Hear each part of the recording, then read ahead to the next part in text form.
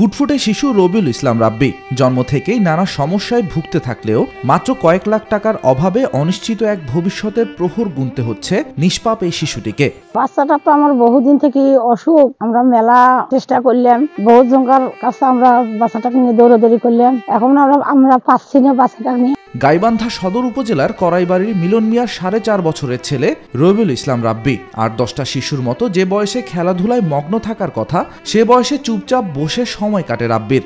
হার্টের প্রবলেম বালকের সমস্যা রক্তনালীর সমস্যা মাংস বৃদ্ধি চারটে সমস্যার কথা বলছে। বসে থাকতে থাকতেই ঝাঁকি দিয়ে কখনো কালো হয়ে যায় রাব্বির শরীর আবার কখনো নীল বর্ণ ধারণ করে। ছেলের এমন অবস্থায় স্থানীয় চিকিৎসকদের শরণাপন্ন হলেও কোনো উপকার হয় না বলে জানান রাব্বির বাবা। কালো হয় নীল হয় শরীর একবারে ঝিঁকি মেরে কালো হয়ে আসতো। কতক সময় নীল হয়ে যেত। পরে দ্রুত ব্যাগে ডাক্তারের কাছে নিলাম। ডাক্তারে খুব একটা ভালো সাজেশন দেয় না ওষুধ দেয় কিন্তু কোনো কিছু বোঝা যায় না।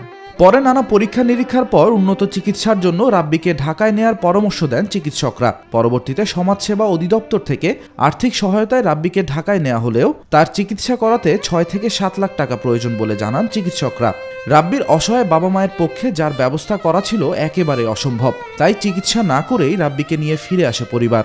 চারটে সমস্যার কথা বলছে আর এ টাইম ছয় থেকে সাড়ে ছয় লক্ষ টাকা লাগবে বলছে। সমাজসেবা অফিসে গেছিলাম ওখান থেকে আমাকে পঞ্চাশ হাজার টাকা দিছিল। আর এইদিকে যেটুকু ম্যানেজ করছিলাম এগুলো নিয়ে আমি ঢাকায় গেছিলাম। ওগুলো দিয়ে তো হয় না পরে ব্যাক করে বাড়িতে আসছি। ঢাকায় নিয়ে গেলাম হার্ট ফাউন্ডেশন। সোনোগ্রাম করাইলাম অনেক টাকা পয়সা গেল। কোনো কাজ হচ্ছে না আবার সে পাঁচ ছয় লাখ টাকার বাজার দেয়। তবে ওখানে নিয়ে আসলাম।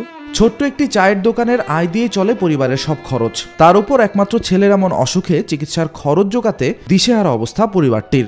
বহুত টাকা পয়সা নাগে ছয় সাত লাখ টাকা নাগে টাকা জোগাড় করতে পারছি না চিকিৎসা করার পারছি না। ছয় সাত লাখ টাকা কোথায় থাকি জোগাড় করি? বাচ্চাটা নিয়ে আমরা খুব টেনশনে আছি। আমি ছোট্ট একটা ব্যবসা করে খাই চার ব্যবসা। ওই দোকান করে এত বড় রিস্ক আমার দ্বারাই সম্ভবই না। আমি অনেক চেষ্টা করছি আমার পক্ষে আর সম্ভব না। এখন আল্লাহর উপরেই ছাড়ি দিয়ে রাখছি।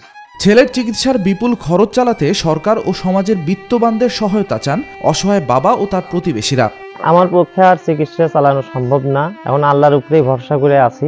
আল্লাহ যদি কেউ কারও না কারও উসুলে যদি ভালো করে তা আল্লাহ পাখিই জানে। এখন এটাই একটু সরকারের কাছে আমরা আবেদন করতাম যদি বাচ্চা গরিব মানুষ যদি সরকারে যদি সে সহযোগিতা করে যদি বাচ্চাটাকে যদি চিকিৎসাপাতি করতে হতো বাচ্চারা বেঁচে থাকলে অনেক ভালো হতো। আপনারা সবাই মিলে আমরা একটু দেখি বাচ্চাটাকে শেখানো যায় কিনা। ওর সমস্যা অনেক দিন থাকিয়ে ছোটবেলা অনেক সুন্দর আসলো অল্প সময়ের মধ্যে অসুস্থ হয়ে যায়। হাত পা কালো হয় জিব্বা কালো। গরিব মানুষ এখন যেটাই করছে অতিরিক্ত কিন্তু এখন তো আর অত টাকা তো জোগাড় করা বড় সমস্যা। কিন্তু একটু হেল্প করলে ভালো হয়। ওয়ালটন এয়ার কন্ডিশনার এক্সচেঞ্জ অফারে স্প্লিট এসিতে তেইশ হাজার টাকা পর্যন্ত নিশ্চিত ছাড়।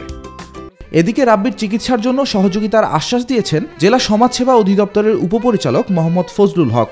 তাকে আমরা দুই হাজার একুশ বাইশ অর্থ বছরে পঞ্চাশ হাজার টাকা আর্থিক অনুদান দিয়েছি। সে আমাদের কাছে আরেকটি আবেদন যদি করে, আমরা চেষ্টা করব তাকে অন্য কোনোভাবে আরও যদি আর্থিক সহযোগিতা করা যায়।